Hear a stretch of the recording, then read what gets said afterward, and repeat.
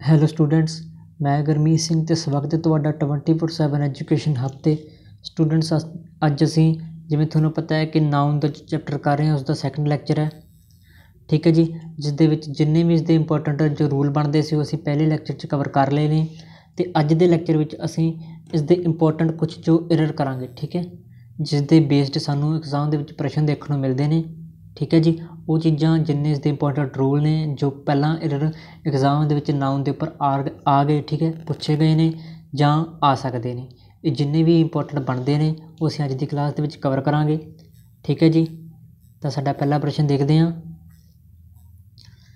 Either Satish or his brother are going to school ਠੀਕ ਹੈ ਜੀ?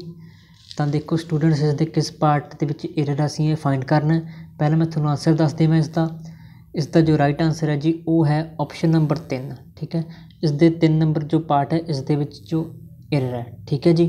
ਕੀ ਹੈ? ਹੁਣ ਮੈਂ ਤੁਹਾਨੂੰ ਸੈਂਟੈਂਸ ਸਮਝਾਉਣਾ students either Satish or his brother ਠੀਕ ਹੈ ਜੀ? ਦੋ ਇਸ ਦੇ ਸਬਜੈਕਟ ਨੇ, ਇੱਕ ਸਤੀਸ਼ ਹੈ, ਇੱਕ ਇਸ ਦਾ ਬ੍ਰਦਰ ਹੈ, ਠੀਕ ਹੈ? ਦੋਨੇ ਆਈਦਰ ਤੇ ਔਰ ਇਨਸ ਦੇ ਨਾਲ ਕੰਜੰਕਸ਼ਨ ਦੇ ਨਾਲ ਦੋਨਾਂ ਨੂੰ ਜੋੜਿਆ ਗਿਆ ਹੈ। ਤਾਂ ਆਰ ਕੀ ਹੈ? ਸਾਡੇ ਕੋਲ ਹੈਲਪਿੰਗ ਵਰਬ ਹੈ, ਠੀਕ ਹੈ? ਤੇ ਗੋਇੰਗ ਮੇਨ ਵਰਬ ਅਤੇ ਇਸ ਦੇ ਵਿੱਚ ਸਟੂਡੈਂਟ ਜੋ ਐਰਰ ਹੈ ਜੀ, ਜੋ ਮਿਸਟੇਕ ਹੈ, ਉਹ ਹੈ ਆਰ ਦੀ। ਐਰਰ ਦੀ ਜਗ੍ਹਾ ਤੇ ਕੀ ਲੱਗੇਗਾ? ਇਜ਼ ਲੱਗੇਗਾ। ਠੀਕ ਹੈ? ਕਿਉਂ ਲੱਗੇਗਾ ਵੀ? ਕਿਉਂ ਲੱਗੇਗਾ ਇਹ? ਕਿਉਂਕਿ ਦੇਖੋ ਸਟੂਡੈਂਟਸ ਇੱਥੇ ਕੀ ਲੱਗਿਆ ਜੀ? ਹਿਜ਼ ਬ੍ਰਦਰ ਠੀਕ ਹੈ? ਹੈਲਪਿੰਗ ਵਰਬ ਕਿਸ ਢੰਗ ਨਾਲ ਲੱਗਦਾ ਹੈ? ਆਪਾਂ ਕੀ ਦੇਖਣਾ ਹੈ? ਔਰ ਤੋਂ ਬਾਅਦ, ਠੀਕ ਹੈ? ਔਰ ਤੋਂ ਬਾਅਦ ਜੋ ਵੀ ਸਬਜੈਕਟ ਹੋਏਗਾ, ਜੇ ਉਹ ਸਬਜੈਕਟ ਸਿੰਗੂਲਰ ਹੈ, ਤਾਂ ਆਪਾਂ ਵਰਬ ਸਿੰਗੂਲਰ ਲਾਵਾਂਗੇ। ਜੇ ਸਬਜੈਕਟ ਪਲੂਰਲ ਹੈ ਤਾਂ ਆਪਾਂ ਵਰਬ ਵੀ ਕੀ ਲਾਵਾਂਗੇ? ਪਲੂਰਲ ਲਾਵਾਂਗੇ। ਜੇ ਇੱਥੇ ਹੁੰਦਾ either Satish or his brothers ਠੀਕ ਹੈ? ਹਿਸ ਬ੍ਰਦਰਸ ਹੁੰਦਾ ਤਾਂ ਆਪਾਂ ਇੱਥੇ ਆਰ ਕਰੈਕਟ ਹੋ ਜਾਂਦਾ। ਹੁਣ ਇੱਥੇ ਕੀ ਹੈ ਜੀ? ਹਿਸ ਬ੍ਰਦਰ ਹੈ। ਠੀਕ ਹੈ? ਤਾਂ ਇੱਥੇ ਆਰ ਦੀ ਜਗ੍ਹਾ ਤੇ ਕੀ ਲੱਗੂਗਾ? ਇਸ ਲੱਗੂਗਾ। ਠੀਕ ਹੈ ਜੀ? ਕਲੀਅਰ ਹੈ ਸਟੂਡੈਂਟਸ ਨੈਕਸਟ ਪ੍ਰਸ਼ਨ ਤੇ ਚੱਲਦੇ ਹਾਂ ਜੀ। Many a student have not done his homework ਠੀਕ ਹੈ? ਦੇਖੋ ਸਟੂਡੈਂਟ ਇਸ ਦੇ ਵਿੱਚ ਜੋ ਐਰਰ ਹੈ ਉਹ ਹੈ ਜੀ ਇਸ ਦੇ ਸੈਕੰਡ ਪਾਰਟ ਦੇ ਵਿੱਚ। ਉਹ ਕੀ ਹੈ? ਹੁਣ ਦੇਖੋ, ਆਪਣੇ ਕੋਲ ਲਿਖਿਆ ਹੈ ਮੈਨੀ ਏ ਸਟੂਡੈਂਟ ਇਹ ਸਾਡੇ ਕੋਲ ਸਬਜੈਕਟ ਹੈ, ਠੀਕ ਹੈ? ਸਬਜੈਕਟ ਕੀ ਹੈ ਸਟੂਡੈਂਟ ਮੈਨੀ ਏ ਸਟੂਡੈਂਟ ਕੀ ਹੁੰਦਾ ਜੀ? ਇੱਕ ਸਿੰਗੂਲਰ ਹੈ ਤੇ ਹੈਵ ਕੀ ਹੈ? ਪਲੂਰਲ ਹੈ। ਤਾਂ ਜਦੋਂ ਕਿ ਹੈਵ ਨਹੀਂ ਲੱਗੇਗਾ, ਇੱਥੇ ਲੱਗੇਗਾ ਜੀ ਹੈਜ਼ ਸਿੰਗੂਲਰ ਵਰਬ ਕਿਉਂਕਿ ਸਾਡੇ ਕੋਲ ਜੋ ਹੈਲਪਿੰਗ ਵਰਬ ਉਹ ਵੀ ਸਿੰਗੂਲਰ ਹੈ।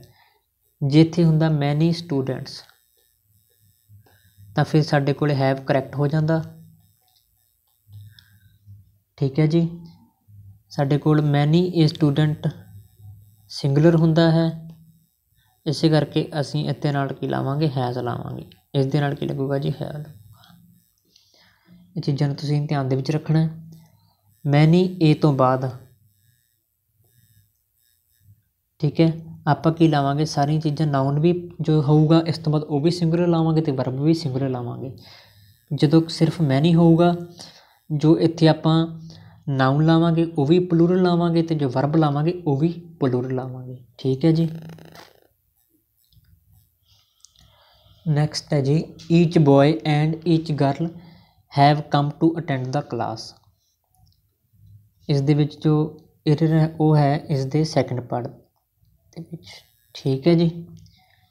ਦੇਖੋ students each boy and each girl ਸਾਡੇ ਕੋਲ ਜੋ ਸਬਜੈਕਟ ਹੈ ਉਹ ਹੈ ਜੀ ਸਿੰਗੂਲਰ ਜਦੋਂ each boy and each girl ਦੋਨਾਂ ਨੂੰ ਕਨੈਕਟ ਕੀਤਾ ਜਾਏਗਾ, ਤਾਂ ਸਬਜੈਕਟ ਕੀ ਬਣੇਗਾ? ਸਿੰਗੂਲਰ ਬਣੇਗਾ। ਤਾਂ ਆਪਾਂ ਨੂੰ ਜੋ ਇੱਥੇ ਵਰਬ ਚਾਹੀਦੀ ਹੈ, ਜੋ ਹੈਲਪਿੰਗ ਵਰਬ ਉਹ ਵੀ ਸਿੰਗੂਲਰ ਚਾਹੀਦੀ ਹੈ। ਠੀਕ ਹੈ ਜੀ। ਤਾਂ ਆਪਾਂ ਨੂੰ ਕੀ ਲਾਉਣਾ ਚਾਹੀਦਾ? ਇੱਥੇ ਹੈਜ਼ ਲਾਉਣਾ ਚਾਹੀਦਾ। ਠੀਕ ਹੈ। ਹੁਣ ਤੁਸੀਂ ਕੁਝ ਚੀਜ਼ਾਂ ਨੂੰ ਨੋਟ ਕਰ ਲੈਣਾ ਈਚ ਆਵੇ, ਠੀਕ ਹੈ। ਐਵਰੀ ਆਵੇ ਸਮਵਨ ਆਵੇ ਠੀਕ ਹੈ ਜੀ। ਸਮਬਡੀ ਆਵੇ ਐਵਰੀਬਡੀ ਆਵੇ ਨੋਬਡੀ ਠੀਕ ਹੈ।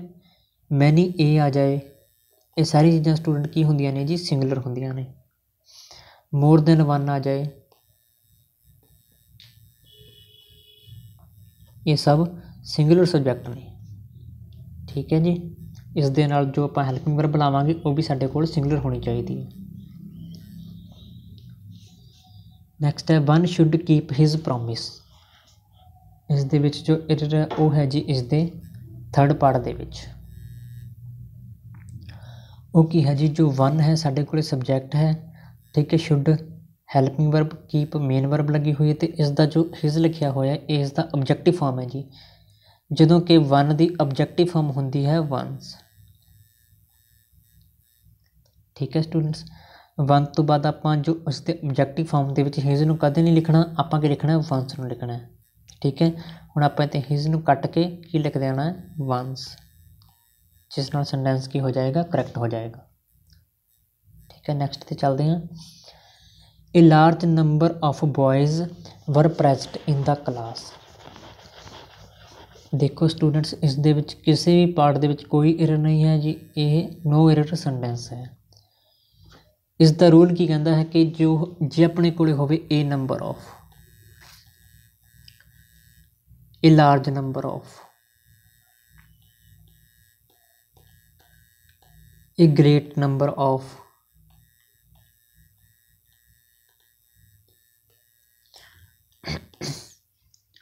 ਠੀਕ ਹੈ ਜੀ। ਇਸ ਤਰ੍ਹਾਂ ਦੀ ਚੀਜ਼ਾਂ ਹੋਣ ਤਾਂ ਇਸ ਤੋਂ ਬਾਅਦ ਆਫ ਤਾਂ ਆਫ ਤੋਂ ਬਾਅਦ ਆਪਾਂ ਜੋ ਨਾਉਨ ਲਾਵਾਂਗੇ, ਉਹ ਪਲੂਰਲ ਲਾਵਾਂਗੇ। ਠੀਕ ਹੈ, ਜੋ ਵਰਬ ਲਾਵਾਂਗੇ, ਉਹ ਵੀ ਪਲੂਰਲ ਲਾਵਾਂਗੇ। ਠੀਕ ਹੈ ਜੀ ਨਾਉਨ ਤੇ ਵਰਬ ਦੋਨੇ ਪੂਰੇ ਲੱਗਦੇ ਨੇ ਜਦੋਂ ਏ ਏ ਏ ਨੰਬਰ ਆਫ ਹੋਵੇ ਇਹ ਲਾਰਜ ਨੰਬਰ ਆਫ ਹੋਵੇ ਇਹ ਗ੍ਰੇਟ ਨੰਬਰ ਆਫ ਹੋਵੇ, ਠੀਕ ਹੈ। ਤੇ ਜਦੋਂ ਸਟੂਡੈਂਟਸ ਇਹਦੀ ਜਗ੍ਹਾ ਤੇ ਆ ਜਾਏਗਾ, ਦਾ ਦਾ ਨੰਬਰ ਆਫ ਆ ਜਾਏਗਾ, ਦਾ ਲਾਰਜ ਨੰਬਰ ਆਫ ਆ ਜਾਏਗਾ, ਠੀਕ ਹੈ ਜੀ। ਇਸ ਤਰ੍ਹਾਂ ਦੀ ਜੋ ਸੈਂਟੈਂਸ ਆਉਣਗੇ, ਤਾਂ ਜੋ ਨਾਉਨ ਲੱਗੇਗਾ, ਉਹ ਪਲੂਰਲ ਲੱਗੇਗਾ। ਜੋ ਵਰਬ ਲੱਗੇਗੀ, ਉਹ ਲੱਗੇਗੀ ਜੀ ਸਿੰਗੂਲਰ ਠੀਕ ਹੈ ਸਟੂਡੈਂਟਸ ਹੁਣ ਤੁਸੀਂ ਯਾਦ ਰੱਖਣਾ ਹੈ। ਜਦੋਂ a ਨੰਬਰ ਹੋਏਗਾ ਤਾਂ ਜੋ ਨਾਉਨ ਲੱਗੇਗਾ ਪਲੂਰਲ ਲੱਗੇਗਾ ਵਰਬ ਲੱਗੇਗੀ ਸਿੰਗੂਲਰ ਠੀਕ ਹੈ ਜੀ। ਜਦੋਂ ਹੋਏਗਾ ਦਾ ਨੰਬਰ ਆਫ ਉਦੋਂ ਨਾਉਨ ਲੱਗੇਗਾ ਪਲੂਰਲ ਠੀਕ ਹੈ। ਤੇ ਵਰਬ ਗਲੇ ਲੱਗੇਗੀ? ਸਿੰਗੂਲਰ ਠੀਕ ਹੈ ਜੀ। ਨੈਕਸਟ ਹੈ it is I who is to blame for this bad situation ਠੀਕ ਹੈ। ਇਸ ਦੇ ਵਿੱਚ ਜੋ ਸਟੂਡੈਂਟ ਏਰ ਹੈ, ਉਹ ਹੈ ਜੀ ਇਸ ਦੇ ਸੈਕੰਡ ਪਾਰਟ ਦੇ ਵਿੱਚ। ਦੇਖੋ, ਇਸ ਦੇ ਵਿੱਚ ਜੋ ਆਪਾਂ ਇਸ ਲਿਖਿਆ ਹੋਇਆ ਹੈ, ਠੀਕ ਹੈ? ਕਿਸ ਦੇ ਲਈ ਲਿਖਿਆ ਹੈ ਜੀ? ਆਈ ਲਈ। ਜਦੋਂ ਕਿ ਆਪਾਂ ਨੂੰ ਪਤਾ ਹੈ ਕਿ ਆਈ ਦੇ ਲਈ ਆਪਾਂ ਇਸ ਨਹੀਂ ਯੂਜ਼ ਕਰਦੇ, ਆਪਾਂ ਆਈ ਲਈ ਐਮ ਯੂਜ਼ ਕਰਦੇ ਹਾਂ। ਠੀਕ ਹੈ?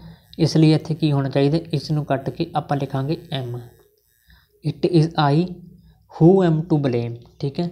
ਦੇਖੋ ਸਟੂਡੈਂਟ ਜਦੋਂ ਵੀ ਹੂ ਲਿਖਿਆ ਹੋਏਗਾ, ਠੀਕ ਹੈ ਜੀ? ਹੂ ਤੋਂ ਐਗਜ਼ੈਕਟ ਪਹਿਲਾਂ ਆਪਾਂ ਦੇਖਣਾ ਕੀ ਚੀਜ਼ ਹੈ ਸਬਜੈਕਟ ਕੀ ਹੈ ਹੂ ਤੋਂ ਪਹਿਲਾਂ ਤੇ ਉਸੇ ਹਿਸਾਬ ਦੇ ਨਾਲ ਆਪਾਂ ਜੋ ਅੱਗੇ ਵਰਬ ਆਏਗੀ ਉਸ ਨੂੰ ਯੂਜ਼ ਕਰਾਂਗੇ। ਠੀਕ ਹੈ ਜੀ? ਸਮਝ ਲੱਗੀ ਸਟੂਡੈਂਟ ਸਾਰਿਆਂ ਨੂੰ? ਠੀਕ ਹੈ? ਤਾਂ ਆਪਾਂ ਨੈਕਸਟ ਪ੍ਰਸ਼ਨ ਤੇ ਚੱਲਦੇ ਹਾਂ। A trained gang of sailors was employed on the ship ਠੀਕ ਹੈ? ਦੇਖੋ ਸਟੂਡੈਂਟ ਜੋ ਸੇਲਰਸ ਕੀ ਹੁੰਦੇ ਨੇ, ਜੋ ਸ਼ਿਪ ਨੂੰ ਸਮੁੰਦਰੀ ਜਹਾਜ਼ ਹੁੰਦਾ ਉਸ ਨੂੰ ਚਲਾਉਂਦੇ ਨੇ, ਠੀਕ ਹੈ। Trained gang of sailors was employed on the ship. ਉਹਨਾਂ ਨੂੰ ਸ਼ਿਪ ਤੇ ਡਿਪਲੋਏ ਕੀਤਾ ਗਿਆ, ਤਨਾਤ ਕੀਤਾ ਗਿਆ, ਠੀਕ ਹੈ ਜੀ। ਗੈਂਗ ਆਫ ਸੇਲਰਸ ਦੇਖਿਆ, ਸਟੂਡੈਂਟ ਸੇਲਰਸ ਦੇ ਲਈ ਆਪਾਂ ਕਦੇ ਵੀ ਗੈਂਗ ਨਹੀਂ ਲਿਖਦੇ। ਠੀਕ ਹੈ, ਗੈਂਗ ਹੁੰਦਾ ਜੀ, ਡਕੈਤਸ ਲਈ, ਰੋਬਰਸ ਦੇ ਲਈ, ਇਹਨਾਂ ਦੇ ਲਈ ਆਪਾਂ ਗੈਂਗ ਵਰਡ ਯੂਜ਼ ਕਰਦੇ ਹਾਂ। ਜਦੋਂ ਇੱਥੇ ਲਿਖਿਆ ਹੋਏਗਾ ਡਕੈਤਸ ਰੋਬਰਸ ਲਿਖਿਆ ਹੋਏਗਾ ਜਾਂ ਥੀਵਸ ਲਿਖਿਆ ਹੋਏਗਾ, ਚੋਰ, ਠੀਕ ਹੈ, ਉਸ ਟਾਈਮ ਆਪਾਂ ਗੈਂਗ ਲਿਖਾਂਗੇ। ਜਦੋਂ ਕਿ ਹੁਣ ਸਾਡੇ ਕੋਲ ਇੱਥੇ ਹੈ ਸੇਲਰਸ ਤਾਂ ਆਪਾਂ ਗੈਂਗ ਨਹੀਂ ਲਿਖਾਂਗੇ, ਆਪਾਂ ਲਿਖਾਂਗੇ ਜੀ ਕਰਿਊ ਸ਼ਿਪ ਦਾ ਕੀ ਹੁੰਦਾ ਹੈ ਸਟੂਡੈਂਟਸ ਕਰਿਊ ਹੁੰਦਾ ਹੈ। ਤਾਂ ਐਰਰ ਕਿਸ ਪਾਰਟ ਦੇ ਵਿੱਚ ਆਈ? ਫਸਟ ਪਾਰਟ ਦੇ ਵਿੱਚ। ਠੀਕ ਹੈ, ਜਿਸ ਤਰ੍ਹਾਂ ਨਾਲ ਹੁੰਦਾ ਹੈ ਜੀ ਇਹ ਹਰਡ ਆਫ ਕੈਟਲ ਜਾਨਵਰਾਂ ਦਾ ਝੁੰਡ ਹੁੰਦਾ ਹੈ ਉਸ ਨੂੰ ਕਹਿੰਦੇ ਆ ਇਹ ਹਰਡ ਆਫ ਕੈਟਲ ਠੀਕ ਹੈ ਜੀ। ਪੰਛੀਆਂ ਦਾ ਇਹ ਫਲੌਕ ਆਫ ਬਰਡਸ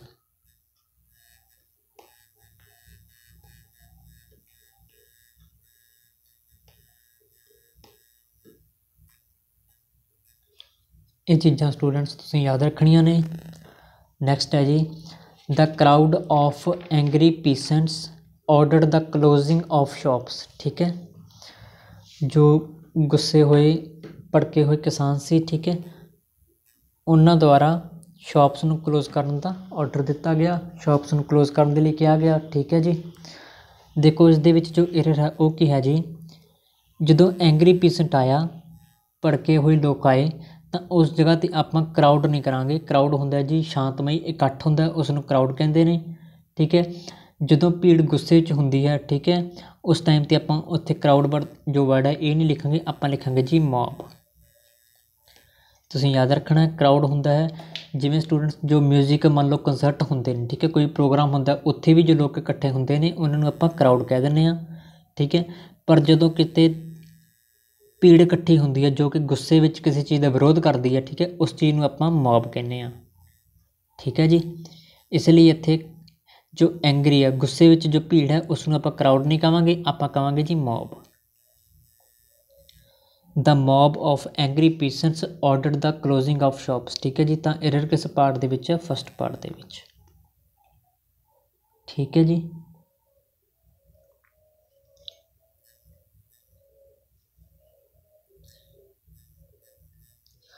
ਨੈਕਸਟ ਹੈ, Smriti was unable to support her parent even though both of them had no income of their own ਠੀਕ ਹੈ ਸਮ੍ਰਿਤੀ ਕਿਸੇ ਅਨੇਬਲ ਸੀ ਅਯੋਗ ਸੀ ਆਪਣੇ ਜੋ ਪੇਰੈਂਟ ਉਹਨਾਂ ਨੂੰ ਸਪੋਰਟ ਕਰਨ ਦੇ ਲਈ ਬੇਸ਼ੱਕ ਜੀ ਹੈ ਭਾਵੇਂ ਉਹ ਦੋਨੇ ਉਹਨਾਂ ਦੀ ਕੋਈ ਇਨਕਮ ਨਹੀਂ ਹੈ ਠੀਕ ਹੈ ਜੀ ਹੁਣ ਦੇਖੋ ਸਟੂਡੈਂਟ ਇਸ ਦੇ ਵਿੱਚ ਜੋ error ਹੈ ਉਹ ਇਸ ਦੇ ਸੈਕੰਡ ਪਾਰਟ ਦੇ ਵਿੱਚ ਹੈ ਠੀਕ ਹੈ ਜੀ ਕੀ error ਹੈ ਉਹ ਪੇਰੈਂਟ ਨਹੀਂ ਹੁੰਦਾ ਸਟੂਡੈਂਟਸ ਠੀਕ ਹੈ ਜੀ? ਆਪਾਂ ਨੂੰ ਜਦੋਂ ਪਤਾ ਲੱਗ ਰਿਹਾ ਕਿ ਉਹ ਦੋ ਜਣਿਆਂ ਦੀ ਗੱਲ ਹੋ ਰਹੀ ਹੈ ਬੋਥ ਆਫ them ਦੀ ਗੱਲ ਹੋ ਰਹੀ ਹੈ, ਤੇ ਆਪਣੇ ਕੋਲ ਜੋ ਇੱਥੇ ਆਬਜੈਕਟਿਵ ਕੇਸ ਉਹ ਵੀ ਪਲੂਰਲ ਤਾਂ ਆਪਾਂ ਨੂੰ ਪਤਾ ਲੱਗ ਗਿਆ ਕਿ ਇੱਥੇ ਆਪਾਂ ਪੇਰੈਂਟ ਕੀ ਹੁੰਦਾ ਦੇਖੋ? ਪੇਰੈਂਟ ਹੁੰਦਾ ਮਾਤਾ ਜਾਂ ਪਿਤਾ।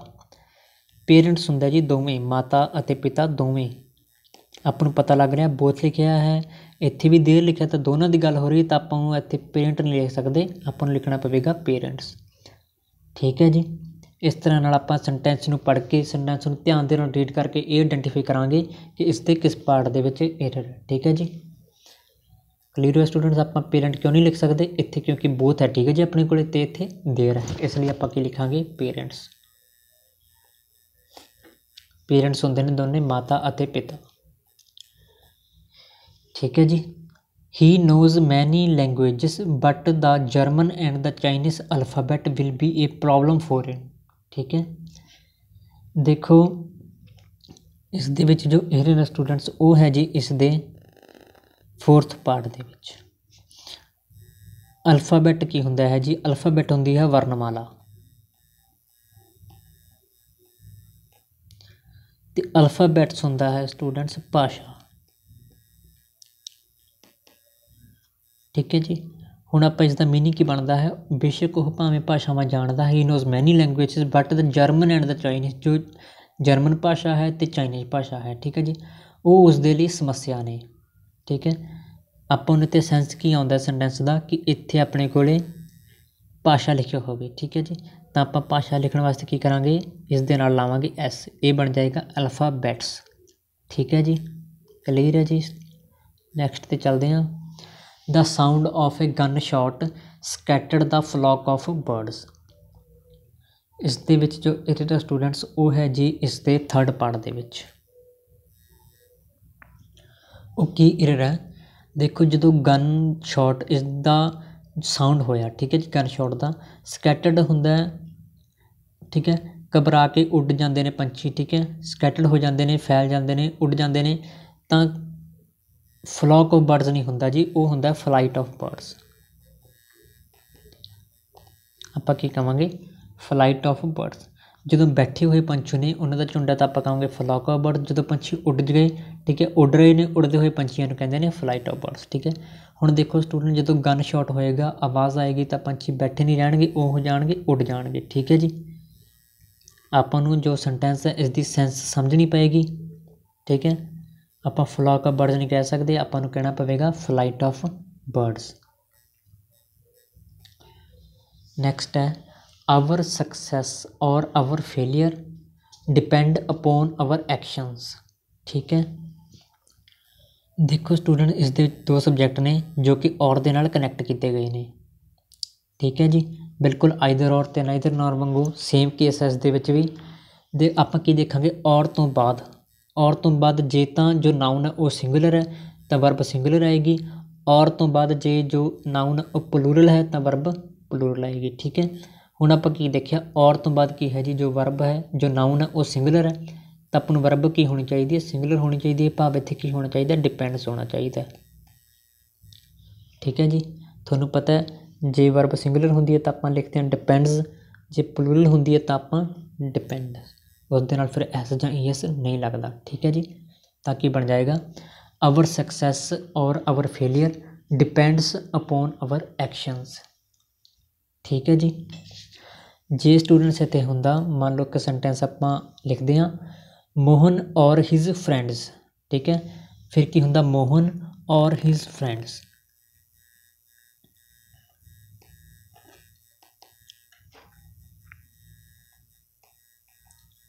ਜਿੱਥੇ ਫਿਰ ਆਪਾਂ ਕਰ ਦਿੰਦੇ ਆਰ ਠੀਕ ਹੈ, ਮੰਨ ਲਓ taking are taking the exam ਠੀਕ ਹੈ ਜੀ, ਇੱਥੇ ਫਰੈਂਡਸ ਹੈ, ਤਾਂ ਆਪਾਂ ਇੱਥੇ ਕਰਤਾ ਆਰ ਠੀਕ ਹੈ ਸਟੂਡੈਂਟਸ ਕਲੀਅਰ ਹੈ ਜੀ? ਨੈਕਸਟ ਹੈ। The orders of his transfer has been issued by the authority ਦੇਖੋ ਸਟੂਡੈਂਟਸ ਦਾ ਆਰਡਰਸ ਆਫ ਠੀਕ ਹੈ? ਜੋ ਸਬਜੈਕਟ ਬਣਿਆ, ਉਹ ਕੀ ਬਣਿਆ ਜੀ? ਆਰਡਰਸ ਦਾ ਆਰਡਰਸ ਆਰਡਰਸ ਕੀ ਹੈ ਆਪਾਂ ਨੂੰ ਪਤਾ ਲੱਗ ਰਿਹਾ ਕਿ ਪਲੂਰਲ ਹੈ, ਠੀਕ ਹੈ? ਤਾਂ ਪਲੂਰਲ ਦੇ ਨਾਲ ਆਪਾਂ ਵਰਬ ਦੇਖਦੇ ਹਾਂ, ਕੀ ਹੈ? ਵਰਬ ਹੈ ਜੀ ਹੈਜ਼ ਹੈਜ਼ ਬੀਨ ਜਦੋਂ ਕਿ ਹੈਜ਼ ਬੀ ਨਹੀਂ ਹੋਣਾ ਚਾਹੀਦਾ ਪਲੂਰਲ ਨਾਲ ਵਰਬ ਹੋਣੀ ਚਾਹੀਦੀ ਹੈ ਹੈਵ ਬੀਨ ਠੀਕ ਹੈ? ਤਾਂ ਐਰਰ ਕਿਸ ਪਾਰਟ ਦੇ ਵਿੱਚ ਆਈ? ਸੈਕੰਡ ਪਾਰਟ ਦੇ ਵਿੱਚ। ਆਪਾਂ ਨੂੰ ਪਤਾ ਹੈ ਕਿ ਪੈਂਟਸ ਟਰਾਊਜ਼ਰਸ ਸੀਜ਼ਰਸ ਠੀਕ ਹੈ ਜੀ, ਇਹ ਸਭ ਇਹ ਸਭ ਕੀ ਨੇ ਇਸ ਤਰ੍ਹਾਂ ਦੀਆਂ ਚੀਜ਼ਾਂ ਬਾਈਨੋਕੂਲਰਸ ਸਨਗਲਾਸਸ ਇਹ ਸਭ ਪਲੂਰਲ ਸਬਜੈਕਟ ਨੇ, ਠੀਕ ਹੈ। ਇਹਨਾਂ ਦੇ ਨਾਲ ਜੋ ਵਰਬ ਆਏਗੀ, ਉਹ ਵੀ ਪਲੂਰਲ ਹੋਏਗੀ। ਠੀਕ ਹੈ ਜੀ। ਦੇਖੋ ਸਟੂਡੈਂਟਸ ਕਦੇ ਵੀ ਇਸ ਤਰ੍ਹਾਂ ਦਾ ਆਪਣੇ ਕੋਲੇ ਸਬਜੈਕਟ ਹੋਵੇ ਜੋ ਕਿ ਆਫ ਜਿਸ ਦੇ ਵਿਚਾਲੇ ਆਫ ਹੁੰਦਾ ਹੈ ਤਾਂ ਆਪਾਂ ਆਫ ਤੋਂ ਪਹਿਲਾਂ ਦੇਖਣਾ ਹੈ, ਠੀਕ ਹੈ ਜੀ? ਆਫ ਤੋਂ ਪਹਿਲਾਂ ਕੀ ਹੈ? ਜਿਹੜੀ ਚੀਜ਼ ਆਫ ਤੋਂ ਪਹਿਲਾਂ, ਜਿਹੜਾ ਨਾਉਨ ਜਾਂ ਸਬਜੈਕਟ ਆਫ ਤੋਂ ਪਹਿਲਾਂ ਹੈ, ਉਹੀ ਸਾਡਾ ਮੇਨ ਸਬਜੈਕਟ ਹੋਏਗਾ। ਠੀਕ ਹੈ ਜੀ?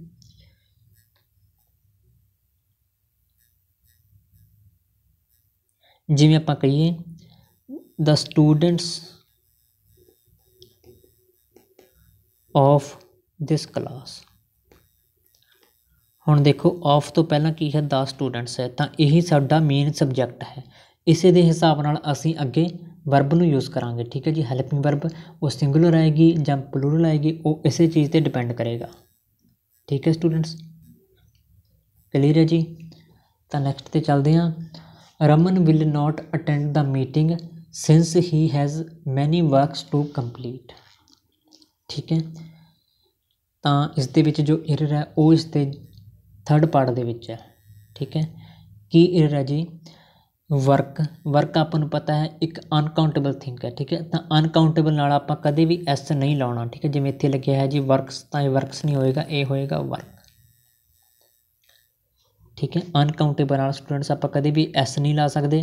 ਤੇ ਨੈਕਸਟ ਹੈ ਜੀ ਮੱਚ ਠੀਕ ਹੈ? ਇੱਥੇ ਮੈਨੀ ਲਿਖਿਆ ਹੈ, ਤਾਂ ਇੱਥੇ ਮੈਨੀ ਨਹੀਂ ਆਉਣਾ ਚਾਹੀਦਾ, ਇੱਥੇ ਆਉਣਾ ਚਾਹੀਦਾ ਜੀ ਮੱਚ ਕਿਉਂਕਿ ਅਨਕਾਊਂਟੇਬਲ ਥਿੰਗ ਤੋਂ ਪਹਿਲਾਂ ਆਪਾਂ ਕੀ ਲਿਖਦੇ ਹਾਂ? ਮੱਚ ਲਿਖਦੇ ਹਾਂ ਅਤੇ ਕਾਊਂਟੇਬਲ ਲਈ ਆਪਾਂ ਲਿਖਦੇ ਹਾਂ ਮੈਨੀ ਜਿਵੇਂ ਮੈਨੀ ਸਟੂਡੈਂਟਸ ਹੁੰਦਾ ਹੈ ਮੈਨੀ ਬॉयਜ਼ ਹੁੰਦਾ ਹੈ ਅਤੇ ਮੱਚ ਵਰਕ ਹੁੰਦਾ ਹੈ। ਠੀਕ ਹੈ ਜੀ? ਕਿਉਂਕਿ ਵਰਕ ਨੂੰ ਆਪਾਂ ਕਾਊਂਟ ਨਹੀਂ ਕਰ ਸਕਦੇ। ਠੀਕ ਹੈ? ਅਤੇ ਜੇ ਆਪਾਂ ਲਿਖਣਾ ਹੋਵੇ ਆਪਣੇ ਕੋਲ ਦੋ ਕੰਮ ਨੇ ਕਰਨ ਲਈ, ਤਿੰਨ ਕੰਮ ਨੇ, ਚਾਰ ਕੰਮ ਨੇ, ਠੀਕ ਹੈ? ਫਿਰ ਆਪਾਂ ਲਿਖਾਂਗੇ ਮੰਨ ਲਓ ਫੋਰ ਐਕਟਸ ਆਫ ਵਰਕ ਪਰ ਆਪਾਂ ਵਰਕ ਦੇ ਨਾਲ ਕਦੇ ਵੀ ਐਸ ਨਹੀਂ ਲਾਵਾਂਗੇ। ਠੀਕ ਹੈ ਜੀ? ਟੂ ਐਕਟਸ ਆਫ ਵਰਕ ਆਪਾਂ ਇਸ ਤਰ੍ਹਾਂ ਨਾਲ ਲਿਖਾਂਗੇ। ਕਲੀਅਰ ਹੈ ਜੀ? ਤਾਂ ਨੈਕਸਟ ਤੇ ਚੱਲਦੇ ਹਾਂ। The driver showed the great talent ਠੀਕ ਹੈ? In keeping the damaged car under control ਇਸ ਦੇ ਕਿਸ ਪਾਰਟ 'ਚ ਐਰਰ ਸਟੂਡੈਂਟਸ ਧਿਆਨ ਨਾਲ ਦੇਖਣਾ ਹੈ। ਉਹ ਹੈ ਜੀ ਇਸ ਦਾ ਸੈਕੰਡ ਪਾਰਟ ਕੀ ਐਰਰ ਦੇਖੋ? ਇੱਥੇ ਜੋ ਵਰਡ ਯੂਜ਼ ਕੀਤਾ ਹੋਇਆ ਆਪਾਂ ਟੈਲੈਂਟ ਠੀਕ ਹੈ ਇਸ ਦਾ मीनिंग ਦੇਖੋ ਕੀ ਬਣਦਾ ਜੀ ਦਾ ਡਰਾਈਵਰ ਸ਼ੋਡ ਡਰਾਈਵਰ ਨੇ ਕੀ ਕੀਤਾ ਆਪਣਾ ਸਪੈਸ਼ਲ ਟੈਲੈਂਟ ਦਿਖਾਇਆ ਕੀਪਿੰਗ ਦਾ ਡੈਮੇਜਡ ਕਾਰ ਜੋ ਕਾਰ ਡੈਮੇਜ ਹੋ ਚੁੱਕੀ ਸੀ ਉਸ ਨੂੰ ਕੰਟਰੋਲ ਕਰਨ ਦੇ ਵਿੱਚ ਠੀਕ ਹੈ ਦੇਖੋ ਸਟੂਡੈਂਟਸ ਆਪਾਂ ਇੱਥੇ ਟੈਲੈਂਟ ਵਰਡ ਨੂੰ ਯੂਜ਼ ਨਹੀਂ ਕਰ ਸਕਦੇ ਟੈਲੈਂਟ ਹੁੰਦਾ ਹੈ ਜੀ ਜੋ ਚੀਜ਼ ਅਸੀਂ ਸਾਨੂੰ ਬਚਪਨ ਤੋਂ ਗੋਡ ਗਿਫਟ ਹੁੰਦੀ ਹੈ ਠੀਕ ਹੈ ਜਿਵੇਂ ਸਾ ਕੋਈ ਸਿੰਗਰ ਹੁੰਦਾ ਉਸ ਦੀ ਚੰਗੀ ਆਵਾਜ਼ ਹੁੰਦੀ ਹੈ, ਠੀਕ ਹੈ ਉਸ ਨੂੰ ਗੋਡ ਗਿਫਟ ਹੁੰਦੀ ਹੈ, ਠੀਕ ਹੈ। ਇਸੇ ਤਰ੍ਹਾਂ ਦੇ ਨਾਲ ਟੈਲੈਂਟ ਜੋ ਵਰਡ ਹੈ, ਆਪਾਂ ਇੱਥੇ ਇਹ ਯੂਜ਼ ਨਹੀਂ ਕਰਾਂਗੇ, ਆਪਾਂ ਯੂਜ਼ ਕਰਾਂਗੇ ਸਕਿੱਲ ਠੀਕ ਹੈ ਜੀ ਸਕਿੱਲ ਕੀ ਹੁੰਦਾ, ਜੋ ਚੀਜ਼ਾਂ ਅਸੀਂ ਸਿੱਖਦੇ ਹਾਂ। ਸਾਡੀ ਮਿਹਨਤ ਦੇ ਨਾਲ ਅਸੀਂ ਜੋ ਚੀਜ਼ਾਂ ਸਿੱਖਦੇ ਹਾਂ ਉਸ ਨੂੰ ਕਹਿੰਦੇ ਆ ਸਕਿੱਲ ਠੀਕ ਹੈ। ਜੇ ਕੋਈ ਚੰਗਾ ਡਰਾਈਵਰ ਹੈ, ਤਾਂ ਉਸ ਦਾ ਟੈਲੈਂਟ ਨਹੀਂ ਹੈ ਜੀ, ਉਹ ਹੈ ਉਸ ਦੀ ਸਕਿੱਲ ਠੀਕ ਹੈ? ਇਸ ਲਈ ਆਪਾਂ ਇੱਥੇ ਟੈਲੈਂਟ ਨਹੀਂ ਯੂਜ਼ ਕਰਾਂਗੇ, ਆਪਾਂ ਯੂਜ਼ ਕਰਾਂਗੇ ਸਕਿੱਲ ਜੋ ਡਰਾਈਵਰ ਹੈ, ਉਸਨੇ ਕਾਰ ਨੂੰ ਕਿਸ ਤਰ੍ਹਾਂ ਕੰਟਰੋਲ ਕੀਤਾ? ਆਪਦੀ ਸਪੈਸ਼ਲ ਸਕਿੱਲਸ ਦੇ ਨਾਲ, ਠੀਕ ਹੈ? ਜੋ ਸਕਿੱਲਸ ਉਸਨੇ ਸਿੱਖੀਆਂ ਨੇ, ਠੀਕ ਹੈ ਸਟੂਡੈਂਟਸ ਟੈਲੈਂਟ ਸਿੱਖਿਆ ਨਹੀਂ ਜਾ ਸਕਦਾ। ਟੈਲੈਂਟ ਜਨਮ ਤੋਂ ਹੀ ਬੰਦੇ ਦੇ ਵਿੱਚ ਹੁੰਦਾ ਹੈ, ਠੀਕ ਹੈ ਜੀ? ਸਕਿੱਲਸ ਸਿੱਖੀਆਂ ਜਾਂਦੀਆਂ ਨੇ। ਕਲੀਅਰ ਹੈ ਸਟੂਡੈਂਟਸ ਆਪਾਂ ਟੈਲੈਂਟ ਲਿਖਾਂਗੇ, ਆਪਾਂ ਲਿਖਾਂਗੇ ਸਕਿੱਲ ਨੈਕਸਟ ਹੈ ਜੀ I don't think it is your house it is somebody's else ਇਸ ਦੇ ਵਿੱਚ ਜੋ ਐਰਰ ਹੈ, ਉਹ ਹੈ ਜੀ ਇਸ ਦੇ ਥਰਡ ਪਾਰਟ ਦੇ ਵਿੱਚ। ਕੀ ਐਰਰ ਹੈ? ਦੇਖੋ ਸਟੂਡੈਂਟਸ ਜੋ ਅਪੋਸਟ੍ਰੋਫੀ ਅਸ ਲਿਖਿਆ ਹੈ ਸਮਬਡੀ ਤੋਂ ਬਾਅਦ, ਇਹ ਆਪਾਂ ਕਦੇ ਵੀ ਸਮਬਡੀ ਤੋਂ ਬਾਅਦ ਨਹੀਂ ਲਿਖਣਾ ਹੁੰਦਾ। ਜਦੋਂ ਐਲਸ ਲਿਖਿਆ ਹੋਊਗਾ, ਆਪਾਂ ਲਿਖਾਂਗੇ ਐਲਸ ਤੋਂ ਬਾਅਦ। ਸਮਬਡੀ ਐਲਸ ਠੀਕ ਹੈ ਜੀ? ਸਮਬਡੀ ਐਲਸ ਇਸ ਤਰ੍ਹਾਂ ਨਾਲ ਲਿਖਾਂਗੇ ਆਪਾਂ ਅਪੋਸਟ੍ਰੋਫੀ ਐਸ ਨੂੰ। ਠੀਕ ਹੈ ਸਟੂਡੈਂਟਸ ਜਿਵੇਂ ਦੇਖੋ ਹੁੰਦਾ ਹੈ ਜੀ ਦਾ ਚੇਅਰਸ ਲੈਗ ਨਹੀਂ ਹੁੰਦਾ ਸਟੂਡੈਂਟਸ ਕਦੇ ਵੀ। ਕੀ ਹੁੰਦਾ ਹੈ ਜੀ ਦਾ ਲੈਗਸ ਆਫ ਚੇਅਰ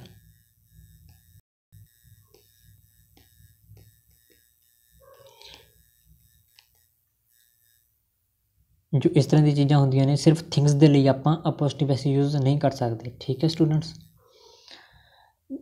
ਪਰ ਆਪਾਂ ਲਿਖਾਂਗੇ ਇੰਡੀਆਜ਼ ਗਰੋਥ ਇਹ ਚੀਜ਼ ਸਹੀ ਹੁੰਦੀ ਹੈ, ਠੀਕ ਹੈ?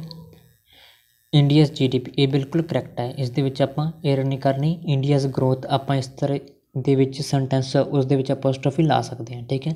ਕਿਉਂਕਿ ਜੋ ਗਰੋਥ ਹੈ ਸਟੂਡੈਂਟਸ ਇਹ ਇਸ ਨੂੰ ਆਪਾਂ ਟੱਚ ਨਹੀਂ ਕਰ ਸਕਦੇ, ਇਸ ਨੂੰ ਆਪਾਂ ਸਿਰਫ ਫੀਲ ਕਰ ਸਕਦੇ ਹਾਂ, ਠੀਕ ਹੈ? ਜੋ ਇਸ ਤਰ੍ਹਾਂ ਦੀ ਚੀਜ਼ਾਂ ਹੁੰਦੀਆਂ ਨੇ, ਉਸ ਦੇ ਵਿੱਚ ਅਪੋਸਟ੍ਰੋਫੀ ਐਸੇ ਯੂਜ਼ ਹੋ ਸਕਦਾ ਹੈ। ਠੀਕ ਹੈ ਜੀ? ਤਾਂ ਇੱਕ ਚੀਜ਼ ਆਪਾਂ ਹੋਰ ਦੇਖ ਲੈਂਦੇ ਹਾਂ ਇਸ ਦੇ ਵਿੱਚ। ਦੇਖੋ, ਜੇ ਆਪਣੇ ਕੋਲੇ ਹੈ ਰਾਮਸਕਾਰ ਠੀਕ ਹੈ? ਰਾਮ ਐਂਡ ਸ਼ਾਮਸਕਾਰ ਤਾਂ ਇੱਥੋਂ ਆਪਾਂ ਨੂੰ ਕੀ ਪਤਾ ਲੱਗਿਆ? ਦੋਨਾਂ ਦੀ ਇੱਕੋ ਕਾਰ ਹੈ, ਠੀਕ ਹੈ ਜੀ? ਰਾਮ ਐਂਡ ਸ਼ਾਮਸਕਾਰ ਇਸ ਦਾ ਸਬਜੈਕਟ ਹੈ, ਉਹ ਸਿੰਗੂਲਰ ਹੈ। ਜੇ ਆਪਣੇ ਕੋਲ ਹੋਵੇ ਰਾਮਸ ਐਂਡ ਸ਼ਾਮਸ ਦੋ ਅਲੱਗ-ਅਲੱਗ ਅਪੋਸਟ੍ਰੋਫੀ ਯੂਜ਼ ਹੁੰਦੇ ਆ, ਤਾਂ ਆਪਾਂ ਨੂੰ ਕੀ ਪਤਾ ਲੱਗਿਆ ਕਿ ਦੋਨਾਂ ਦੀਆਂ ਕਾਰਾਂ ਵੱਖੋ ਵੱਖ ਨੇ, ਠੀਕ ਹੈ? ਤਾਂ ਇਸ ਦਾ ਜੋ ਸਬਜੈਕਟ ਬਣੇਗਾ, ਉਹ ਪਲੂਰਲ ਬਣ ਜਾਏਗਾ, ਕਿਉਂਕਿ ਹੁਣ ਦੋ ਕਾਰਾਂ ਹੋ ਗਈਆਂ, ਠੀਕ ਹੈ ਜੀ? ਇਸ ਚੀਜ਼ ਨੂੰ ਤੁਸੀਂ ਧਿਆਨ 'ਚ ਰੱਖਣਾ, ਆਪਾਂ ਪਹਿਲਾਂ ਇਸ ਚੀਜ਼ ਨੂੰ ਡਿਸਕਸ ਕੀਤਾ ਹੋਇਆ, ਠੀਕ ਹੈ? ਨੈਕਸਟ ਹੈ ਜੀ one of my brother will be honoured with the bravery award in the annual seminar ਇਸ ਦੇ ਵਿੱਚ ਜੋ ਐਰਰ ਸਟੂਡੈਂਟਸ ਉਹ ਕੀ ਹੈ ਜੀ? ਇਸ ਦੇ ਫਸਟ ਪਾਰਟ ਦੇ ਵਿੱਚ। ਦੇਖੋ ਸਟੂਡੈਂਟਸ ਪਹਿਲਾਂ ਵੀ ਆਪਾਂ ਇਸ ਚੀਜ਼ ਬਾਰੇ ਗੱਲ ਕੀਤੀ ਹੈ ਕਿ ਵਨ ਆਫ ਤੋਂ ਬਾਅਦ ਜੋ ਨਾਉਨ ਲੱਗੇਗਾ, ਉਹ ਹੋਏਗਾ ਜੀ ਪਲੂਰਲ ਤੇ ਜੋ ਵਰਬ ਲੱਗੇਗੀ, ਉਹ ਹੋਏਗੀ ਸਿੰਗੂਲਰ ਠੀਕ ਹੈ ਜੀ? ਹੁਣ ਦੇਖੋ ਵਨ ਆਫ ਤੋਂ ਬਾਅਦ ਆਪਾਂ ਦੇਖਦੇ ਹਾਂ, ਜੋ ਸਾਡੇ ਕੋਲੇ ਨਾਉਨ ਹੈ, ਉਹ ਸਿੰਗੂਲਰ ਹੈ। ਠੀਕ ਹੈ? ਇਹੀ ਇੱਥੇ ਮਿਸਟੇਕ ਹੈ। ਇੱਥੇ ਕੀ ਹੋਣਾ ਚਾਹੀਦਾ? ਵਨ ਆਫ ਮਾਈ ਬ੍ਰਦਰਸ ਇਸ ਦੇ ਨਾਲ ਐਸ ਲੱਗ ਜਾਏਗਾ। ਵਨ ਆਫ ਮਾਈ ਬ੍ਰਦਰਸ ਠੀਕ ਹੈ ਜੀ? ਤਾਂ ਆਪਾਂ ਨੈਕਸਟ ਤੇ ਚੱਲਦੇ ਹਾਂ। Indian force are known for their loyalty and integrity ਠੀਕ ਹੈ ਜੀ?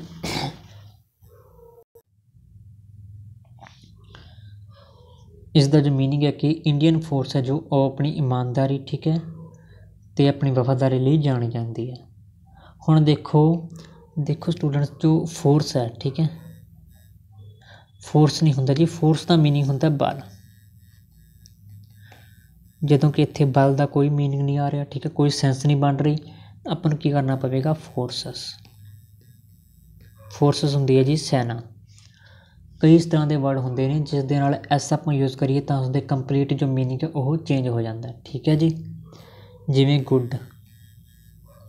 ਗੁੱਡ ਹੁੰਦਾ ਚੰਗਾ ਪਰਸਨ ਅਤੇ ਚ ਹੁੰਦਾ ਜੀ ਵਸਤੂਆਂ। ਠੀਕ ਹੈ ਸਟੂਡੈਂਟਸ ਏਅਰ ਏਅਰ ਹੁੰਦੀ ਹੈ ਜੀ ਹਵਾ। ਤੇ ਏਅਰਸ ਏਅਰਸ ਹੁੰਦਾ ਕਿ ਸ਼ੇਖੀ ਮਾਰਨਾ ਠੀਕ ਹੈ ਬੋਸਟ ਫੁੱਲ ਗੱਲਾਂ ਕਰਨੀਆਂ, ਉਹ ਹੁੰਦਾ ਜੀ ਏਅਰਸ ਉਸੇ ਤਰ੍ਹਾਂ ਨਾਲ ਇੱਥੇ ਆਪਾਂ ਫੋਰਸ ਨਹੀਂ ਲਿਖਾਂਗੇ, ਆਪਾਂ ਲਿਖਾਂਗੇ ਜੀ ਫੋਰਸਸ ਠੀਕ ਹੈ ਸਟੂਡੈਂਟਸ ਜਿਵੇਂ ਦੇਖੋ ਵੁੱਡ ਹੁੰਦਾ ਵੁੱਡ ਹੁੰਦਾ ਜੀ ਲੱਕੜ ਵੁੱਡਸ ਹੁੰਦਾ ਜੰਗਲ। ਠੀਕ ਹੈ ਨੈਕਸਟ ਪ੍ਰਸ਼ਨ ਤੇ ਚੱਲਦੇ ਹਾਂ। It is a scientifically scientifically accepted fact that laugh is the best medicine to remove stress ਠੀਕ ਹੈ ਇਹ ਕੀ ਹੈ ਇੱਕ ਫੈਕਟ ਹੈ ਸਾਇੰਟੀਫਿਕਲੀ ਜੋ ਅਸੈਪਟ ਕੀਤਾ ਗਿਆ ਇੱਕ ਫੈਕਟ ਹੈ ਠੀਕ ਹੈ ਇੱਕ ਤੱਥ ਹੈ ਕਿ ਜੋ ਲਾਫ ਹੈ, ਇਸ ਦਾ ਬੈਸਟ ਮੈਡੀਸਨ ਹੈ, ਠੀਕ ਹੈ? ਸਾਡੇ ਸਟ੍ਰੈਸ ਨੂੰ ਤਣਾਅ ਨੂੰ ਘੱਟ ਕਰਨ ਦੇ ਲਈ। ਇਸ ਦਾ ਮੀਨਿੰਗ ਹੈ ਇਹ। ਹੁਣ ਦੇਖੋ ਸਟੂਡੈਂਟ ਇਸ ਦੇ ਵਿੱਚ ਜੋ ਐਰਰ ਹੈ ਜੀ, ਉਹ ਹੈ ਇਸ ਦੇ ਸੈਕੰਡ ਪਾਰਟ ਦੇ ਵਿੱਚ। ਕੀ ਹੈ ਜੀ? ਲਾਫ ਦੇਖੋ। ਇਹ ਜੋ ਸੈਂਟੈਂਸ ਅੱਗੇ ਬਣਦਾ ਹੈ, ਇਸ ਦਾ ਬੈਸਟ ਮੈਡੀਸਨ ਆਪਾਂ ਨੂੰ ਇੱਥੇ ਕੀ ਚਾਹੀਦਾ ਹੈ? ਇੱਕ ਨਾਉਨ ਚਾਹੀਦਾ ਇੱਥੇ ਆਪਾਂ ਨੂੰ ਇੱਕ ਨਾਉਨ ਦੀ ਲੋੜ ਹੈ, ਠੀਕ ਹੈ ਜੀ? ਤੇ ਲਾਫ ਕੀ ਹੈ? ਇੱਕ ਵਰਬ ਹੈ। ਵਰਬ ਨੂੰ ਆਪਾਂ ਇੱਥੇ ਯੂਜ਼ ਨਹੀਂ ਕਰ ਸਕਦੇ, ਠੀਕ ਹੈ? ਆਪਾਂ ਨੂੰ ਇੱਕ ਨਾਉਨ ਦੀ ਲੋੜ ਹੈ ਤਾਂ ਨਾਉਨ ਕੀ ਹੁੰਦਾ ਜੀ? ਲਾਫਟਰ ਤਾਂ ਸੈਂਟੈਂਸ ਕੀ ਬਣੂਗਾ? Laughter is the best medicine ਕਿਉਂਕਿ ਲਾਫਟਰ ਕੀ ਹੁੰਦਾ ਸਟੂਡੈਂਟਸ ਨਾਉਨ ਹੁੰਦਾ, ਆਪਾਂ ਨੂੰ ਨਾਉਨ ਦੀ ਲੋੜ ਹੈ, ਠੀਕ ਹੈ? ਸਬਜੈਕਟ ਇੱਕ ਨਾਉਨ ਹੋਣਾ ਚਾਹੀਦਾ ਠੀਕ ਹੈ ਜੀ? ਤੇ ਲਾਫ ਹੁੰਦੀ ਹੈ ਵਰਬ ਆਪਾਂ ਵਰਬ ਨੂੰ ਯੂਜ਼ ਨਹੀਂ ਕਰ ਸਕਦੇ। ਆਪਾਂ ਨੂੰ ਕੀ ਕਰਨਾ ਪਵੇਗਾ? ਲਾਫਟਰ ਲਿਖਣਾ ਪਵੇਗਾ, ਠੀਕ ਹੈ ਜੀ? ਕਲੀਅਰ ਹੈ ਜੀ? ਨੈਕਸਟ ਤੇ ਚੱਲਦੇ ਹਾਂ। He made attempt after attempts but failed ਠੀਕ ਹੈ? ਇਸ ਦੇ ਵਿੱਚ ਜੋ ਐਰਰ ਸਟੂਡੈਂਟਸ ਉਹ ਹੈ ਇਸ ਦੇ ਸੈਕੰਡ ਪਾਰਟ ਦੇ ਵਿੱਚ। ਦੇਖੋ ਦੋ ਆਪਣੇ ਕੋਲੇ ਨਾਉਨ ਲਿਖੇ ਨੇ, ਠੀਕ ਹੈ ਜੀ? ਅਟੈਂਪਟ ਐਂਡ ਅਟੈਂਪਟਸ ਇਹਨਾਂ ਦੇ ਵਿੱਚ ਜੋ ਕੰਜੰਕਸ਼ਨ ਹੈ, ਠੀਕ ਹੈ ਜੀ? ਆਫਟਰ ਜੋ ਪ੍ਰੈਪੋਜੀਸ਼ਨ ਲਿਖੀ ਹੋਈ ਹੈ ਪ੍ਰੈਪੋਜੀਸ਼ਨ ਆਫਟਰ ਆਪਾਂ ਕੀ ਕਰਨਾ ਹੁੰਦਾ ਹੈ? ਪ੍ਰੈਪੋਜੀਸ਼ਨ ਤੋਂ ਪਹਿਲਾਂ ਅਤੇ ਪ੍ਰੈਪੋਜੀਸ਼ਨ ਤੋਂ ਬਾਅਦ ਜੋ ਨਾਊਨ ਨੇ ਦੋਨੇ ਸੇਮ ਹੋਣੇ ਚਾਹੀਦੇ ਨੇ। ਠੀਕ ਹੈ ਜੀ? ਆਪਾਂ ਇਹ ਚੀਜ਼ ਦੇਖਣੀ ਹੁੰਦੀ ਜਿਵੇਂ ਹੁੰਦਾ 1 ਬਾਈ 1 ਠੀਕ ਹੈ? ਉਸੇ ਤਰ੍ਹਾਂ ਇੱਥੇ ਕੀ ਹੋਣਾ ਚਾਹੀਦਾ ਸਿੰਗੂਲਰ ਦੋਨੇ ਹੋਣੇ ਚਾਹੀਦੇ ਨੇ। ਇਹ ਵੀ ਅਟੈਂਪਟ ਹੋਵੇ, ਇਹ ਵੀ ਅਟੈਂਪਟ ਹੋਵੇ। ਠੀਕ ਹੈ? ਆਪਾਂ ਅਟੈਂਪਟ ਕੀ ਕਰਾਂਗੇ? ਇਕੱਠੇ ਨਹੀਂ ਕਰਾਂਗੇ। ਇੱਕ ਇੱਕ 1 ਬਾਈ 1 ਕਰਕੇ ਅਟੈਂਪਟ ਕਰਾਂਗੇ। ਠੀਕ ਹੈ? ਜਿਵੇਂ ਆਪਣੇ ਕੋਲ ਐਗਜ਼ਾਮ ਦੇ ਵਿੱਚ ਕਈ ਵਾਰੀ ਆਉਂਦਾ ਪੇਜ ਆਫਟਰ ਪੇਜ